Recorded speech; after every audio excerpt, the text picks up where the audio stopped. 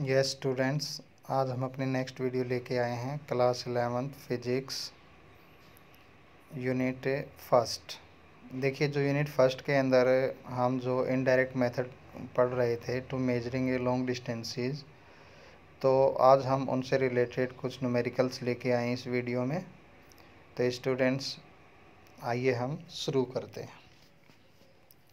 देखिए जो हमारे indirect method for measuring distances तो यहाँ पर ये हमारी टाइप ए है।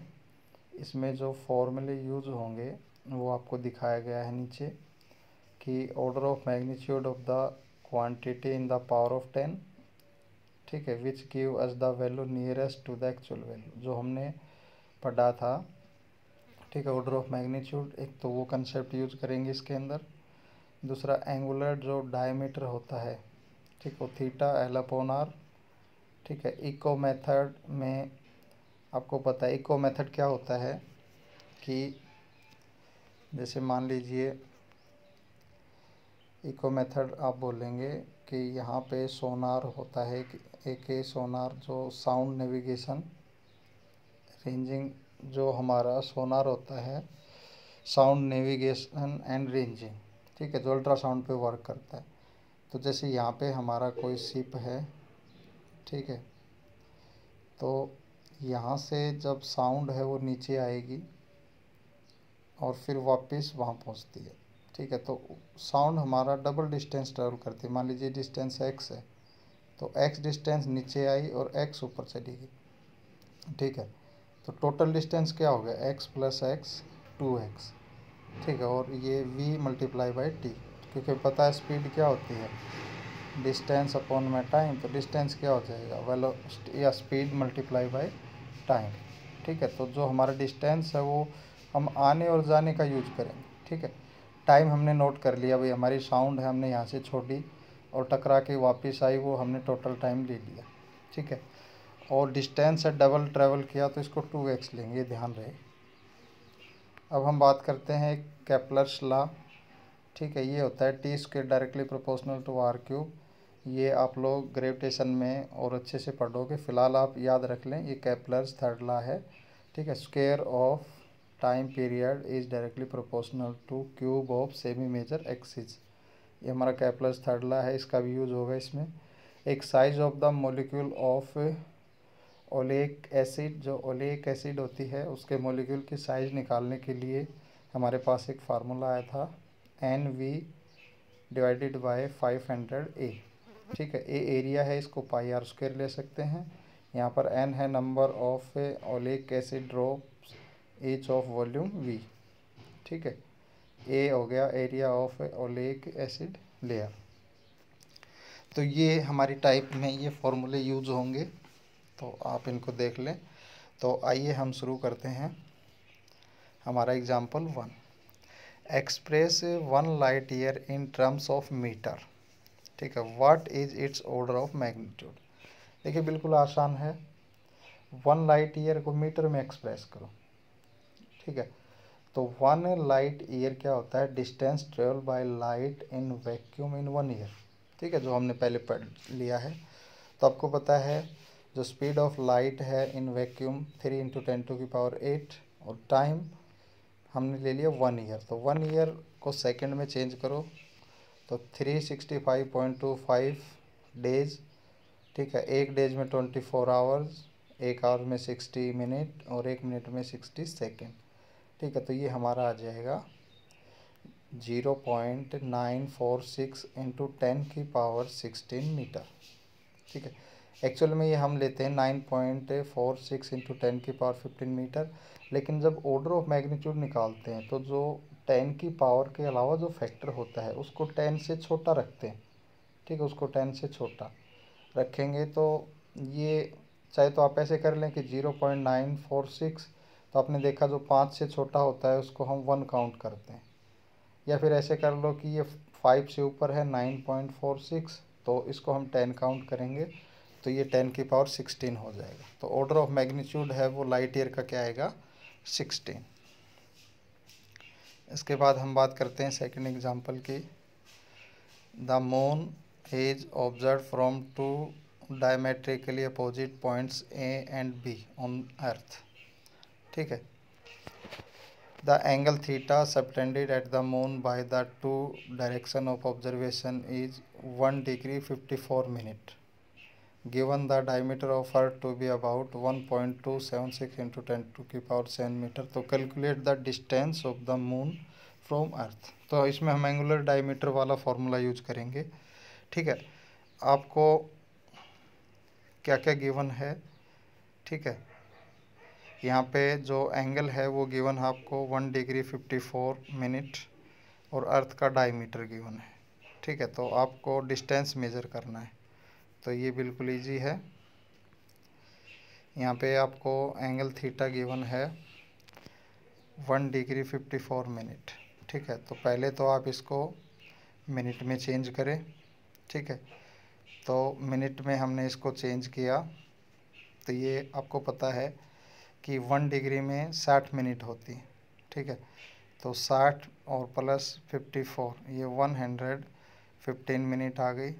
ठीक है, इसको सेकंड में चेंज करो तो मल्टीप्लाई बाय सिक्सटी और फिर आप इसको जब रेडियन में चेंज करोगे तो multiply by pi upon one eighty या यहाँ पे जैसे डायरेक्ट किया है कि वन जो सेकंड होती है वो four point eight five into ten की माइनस सिक्स रेडियन होती है। ठीक है तो थीटा की वैल्यू आपकी आ जाएगी three point three two into ten की माइनस टू रेडियन अर्थ का जो डायमीटर है वो आपको एल के बराबर है one point two seven six into ten की पावर सेवन मीटर और अर्थ मून डिस्टेंस ये आर ले लिया तो यहाँ पर आप यूज़ करोगे L equal to R theta ठीक है? जैसे कि मान लीजिए ये यहाँ पे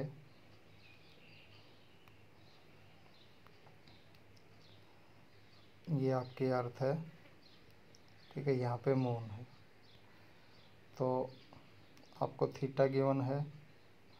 ठीक है, ये डायमीटर गिवन है। ठीक तो आपको ये वाली डिस्टेंस निकालनी है। तो ये तो एल हो गया आर आपको निकालनी है थीटा आपका गिवन है। तो यहाँ पे हो जाएगी अपने थीटा क्या होता है? आर कपोन रेडियस ठीक है। आपको रेडियस निकालनी है जो डिस्टेंस है तो आर क्या हो जाएगा? एल अपॉन थीटा ठीक है। तो जो रेडियस है, यही हमारा क्या है? Distance of the moon from the earth तो यहाँ पे फॉर्मूला रखेंगे तो ये हमारा आ जाएगा three point eight four into ten की पावर एट मीटर उसके बाद हम बात करते हैं example three N C R T solved example है ये. The sun angular diameter is measure to be one thousand nine hundred twenty second ठीक है? The distance of the sun from the earth is 1.496 into 10 के power 11 metre तो what is the diameter of the sun आपको theta दे रखा है। ये ये आपका थीटा है। ये सेकंड में है। तो इसको रेडियन में चेंज करोगे तो multiply by pi upon one eighty ठीक है? और आपको आर गिवन है one point four nine six into ten की पावर 11 मीटर एल आपको निकालना तो L equal to R theta आप ये वैल्यू रखोगे तो ये आ जाएगा one point three nine into ten to की पावर नाइन मीटर ठीक है, इसके बाद देखिए, ये हमारा N C R T solved example है ये भी। A man wishes to estimate the distance of a nearby tower from him stand at a point A in front of the tower C and spots a very distant object O in line with A C ठीक है He then walks perpendicular to AC up to B, a distance of the 100 meter and look at the O and C again.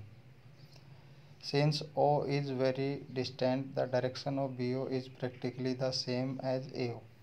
But he find the line of sight of C shifts from the original line of sight by angle theta. ठीक है तो estimate the distance of the tower C from the original position A. ठीक है तो यहाँ पे ये देखिए, ये आपको दिखाया गया है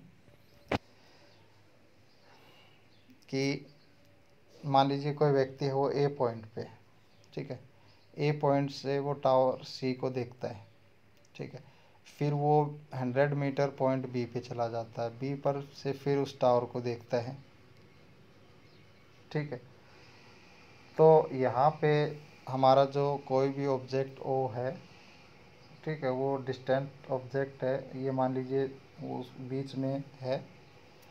तो यहाँ पे आपको जो टावर है, उसकी हाइट निकालनी। तो देखिए, यहाँ पे आपको क्लियरली दिख रहा है थीटा है, वो फोर्टी डिग्री है। ए बी आपकी हंड्रेड मीटर है तो आपको ए सी निकालनी है। तो सिंपली आप इसको निकाल सकते हैं। In triangle A B C tan theta A B upon A C तो ए सी हो जाएगा। A B tan theta hundred upon tan forty degree तो यहाँ से ए सी आपका आ जाएगा वन हंड्रेड नाइनटीन मीटर। उसके बाद नेक्स्ट एग्जांपल है। The shadow of a tower standing on a level plane is found to be 50 metre longer ठीक है। When sun altitude is 30 degree जब सन है, वो सरफेस से 30 डिग्री का एंगल बनाता है। ठीक है? तो उस समय जो शेडो होती है, वो 50 मीटर लॉन्ग होती है। ठीक है? Than when it is 60 degree find the height of the tower ठीक है? देखिए, कोई भी ऑब्जेक्ट है, वो ए पॉइंट पे। ठीक है? 60 के एंगल पे। जो 50 मीटर चला जाता है ओ पॉइंट पे तो अब जो हमारा जो एल्टीट्यूड है, जो एंगल है, ठीक है? वो 30 डिग्री हो जाता है। तो आपको टावर की हाइट निकालनी स्टूडेंट, इस तरह के क्वेश्चन आपके टिग्नो, टिग्नोमेट्री में टेंथ में आए थे, बिल्कुल वैसे ही हैं। ठीक है? पहले आप ट्रायंगल लीजिए। ट्रायंगल हमारी ले ली, ओ, बी, और यहाँ टावर पे कोई भी पॉइंट ले लिया हमने तो यहाँ से आपकी कोट थर्टी डिग्री। ठीक है? Base upon perpendicular. तो ये हो जाएगा ओ बी और एच इसी तरह कोट सिक्सटी ये भी ये आपका हो जाएगा ए बी एच अब cot thirty minus cot sixty O B minus A B H तो ये हमारा ओ ए हो जाएगा, जो कि फिफ्टी मीटर गिवन है। तो यहाँ से हम वैल्यू रख के और एच की वैल्यू निकाल लेंगे। तो सिंपल क्वेश्चन है, आप लोगों ने टिग्नोमेट्री में भी पढ़ा है। ठीक है स्टूडेंट अब हम लेते हैं हमारी इसी तरह से हम बात करते हैं। ठीक, ये हमारा आ गया। आप लोगों ने नाइन्थ क्लास में जो साउंड वाला चैप्टर था, उसके अंदर इस तरह के न्यूमेरिकल किए थे। A rock under water is 1595 metre deep find the time in which an ultrasonic signal returns after reflection from the rock speed of the ultrasonic wave in water is 1450 metre per second देखिए, आपको x given है, ठीक है? और जो water के अंदर ultrasound की जो स्पीड है वी वो गिवन आपको टी निकालना है। तो यहाँ पे देखो जो साउंड है एक बार नीचे जाएगी और फिर वापस आएगी, ठीक है? तो आपको बताया कि रोक अंडर द वाटर वो आपकी पंद्रह मीटर गहरी है, ठीक है? तो पंद्रह मीटर तो वो गई है और पंद्रह सौ ही वापस आई है। ठीक है तो यहाँ पे डिस्टेंस आपका, इतना डिस्टेंस ट्रैवल करने में आपका कितना टाइम लगा वो आपको निकालना है और आपकी आने और जाने की स्पीड है वो तो कांस्टेंट है 1450 मीटर पर सेकंड तो यहाँ पर आप फॉर्मूला सीधा यूज़ करोगे V cross T is equal to X plus X ठीक है तो यहाँ से टू आपका टू एक्स अपॉन वी तो ये आ जाएगा टू पॉइंट टू सेकेंड देखिए स्टूडेंट जो हमारा अल्ट्रासाउंड से रिलेटेड क्वेश्चन होते हैं तो उसमें डिस्टेंस हमेशा डबल लेना पड़ता है. क्योंकि अल्ट्रासाउंड का आने और जाने का टाइम है, वो हमें मेजर करना होता है। ठीक है? ये एग्ज़ाम्पल सेवन है, ये हमारा कैपलर्स ला के ऊपर है। ठीक है? तो इसमें आप देखो, जब हम दो चीज़ों को कंपेयर करते हैं, ठीक है? जैसे यहाँ पे suppose there existed a play planet that went around the sun twice as fast as the earth तो what would its original size तो देखिए, आपको ये कहता है कि सन टुवाई से फास्टर एज द अर्थ कोई भी प्लेनेट है, वो अर्थ से दुगनी स्पीड से चल रहा है, ठीक है? तो जो टाइम है प्लेनेट का, वो हाफ़ हो जाएगा। जब स्पीड दुगनी होगी तो टाइम आधा हो जाएगा। टाइम ऑफ़ अर्थ ठीक है? तो आपको क्या बताना है? ऑर्बिटल साइज़, रेडियस निकालनी है आर पी आर ई आपको पता है, वन ए यू होती है, ठीक है? तो यहाँ से आप इसको कैपलर ला, इसको कंपेयर करेंगे, ये फार्मूला लेके तो ये हमारा आ जाएगा R P zero point six three A ठीक है? आप इसको एक बार लाइटली देख लें, क्योंकि जब इस तरह के क्वेश्चन हमारे ग्रेविटेशन में काफ़ी आएँगे तो वहाँ पे और बेटर अंडरस्टैंडिंग होगी। फ़िलहाल आप इसको ऐसे देख लें फार्मूला पुटअप करके। ठीक है स्टूडेंट तो ग्रेविटेशन में हम इसको और अच्छे से कराएँगे। इसके बाद आती है next type next question eight a drop of olive oil of radius zero point two five millimetre separates into a circular film of radius ten centimetre on the water surface estimate the size of the molecule of oleic acid olive oil है, उसकी radius given है।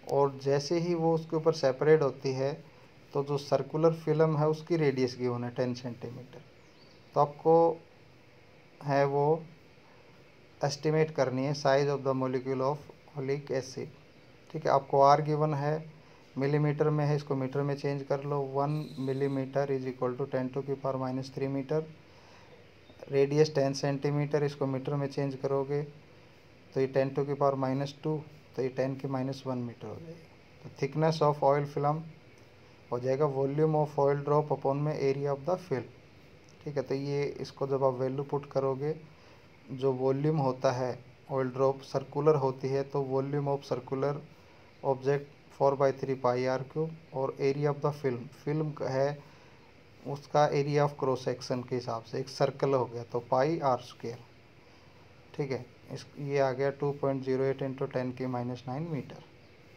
तो we have assume the oil film to be one molecule thick कि जो film है, उस, इतनी है कि एक एक मोलिक्यूल जितनी ही उसकी मोटाई है।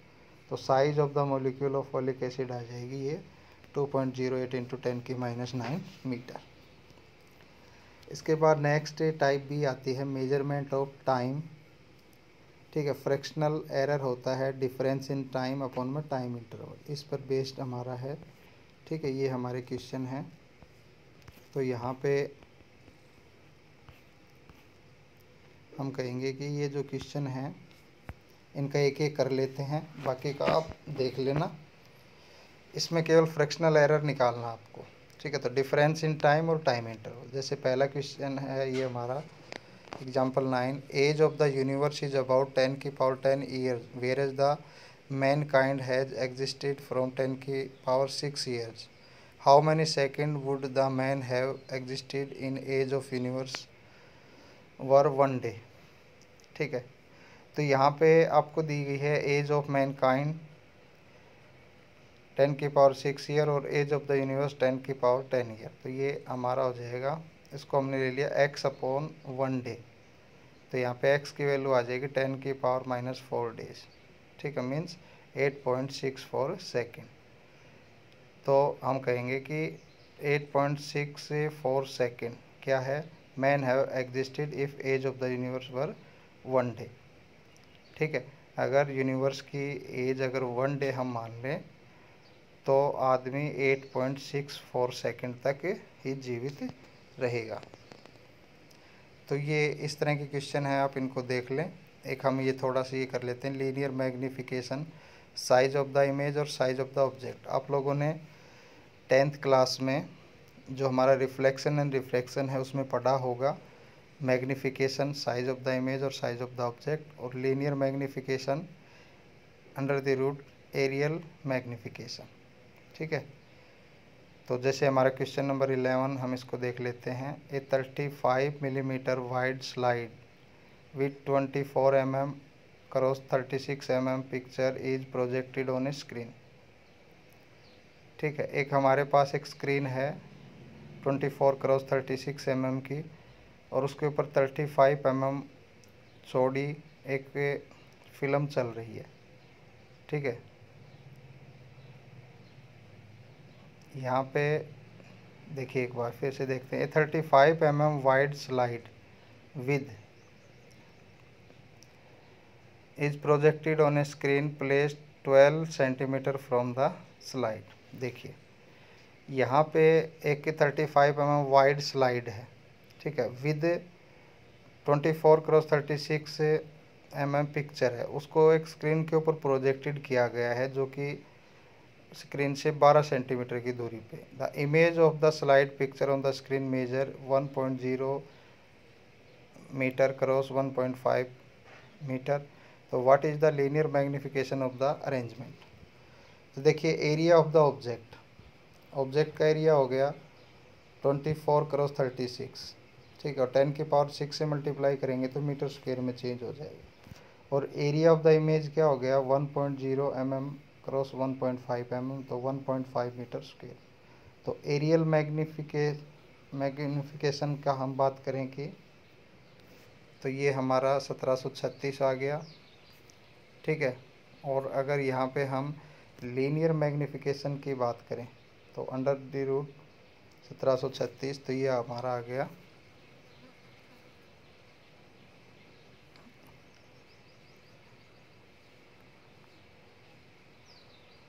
यहाँ पे जो हमारा एरियल मैग्निफिकेशन देखो एरियल मैग्निफिकेशन हमने निकाला है। तो लीनियर मैग्निफिकेशन हो जाएगा aerial magnification under the root तो ये हमारा आ गया forty one point seven seven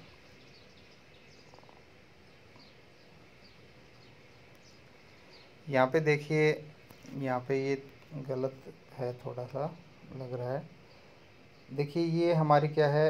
area of the image और ये एरिया ऑफ़ द ऑब्जेक्ट तो एरियल मैग्नीफिकेशन ठीक है तो यहाँ से जो हमारा लीनियर मैग्निफिकेशन हो जाएगा, वो क्या होगा? हमारा aerial magnification under the root तो यहाँ पर एरियल मैग्निफिकेशन निकालो, फिर लीनियर निकालोगे तो ये इसका अंडर रूट हो जाएगा। ठीक है, ये इस तरह से है, आप ध्यान दें। कि सबसे पहले एरियल मैग्नीफिकेशन निकालें और फिर लीनियर मैग्नीफिकेशन निकालोगे तो सत्रह सौ छत्तीस अंडर दी रूट तो ये आ जाएगा forty one point seven seven तो स्टूडेंट ये हमारे क्वेश्चन थे। ठीक है, आप इनको करना। नेक्स्ट वीडियो के अंदर हम अपना फ़र्स्ट यूनिट का अब हमारा जो इम्पोर्टेंट पार्ट शुरू होगा, ठीक है डायमेंशनल फॉर्मूले हम उनको करेंगे और वहीं से एक्चुअली हमारी यूनिट फ़र्स्ट है, वो शुरू होती है। फ़र्स्ट यूनिट के जो दो पार्ट हैं, ठीक है? एक तो हमारा जो डायमेंशनल फार्मूले और फार्मूले और एक एरर। इन्हीं में से ही कम्पिटेटिव एग्ज़ाम में क्वेश्चन आते हैं तो उन दोनों को हम बहुत अच्छे से करेंगे। अब तक जो हमने किया है, ये जस्ट हमारा इंट्रोडक्टरी पार्ट था। सिंपल था, ये आप लोग टेंथ में भी पढ़ चुके हैं, ठीक है?